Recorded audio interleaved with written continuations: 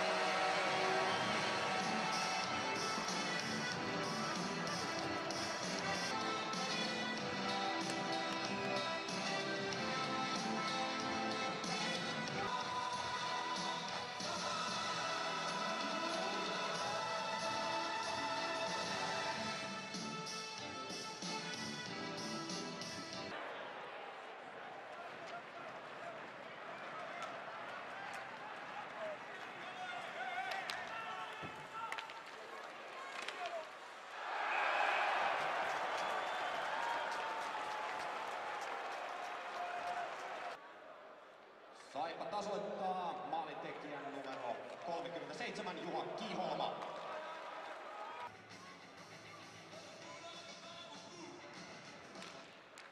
Saipa 32. Ville Palanen, kaksi minuuttia syy estäminen aika 8.30.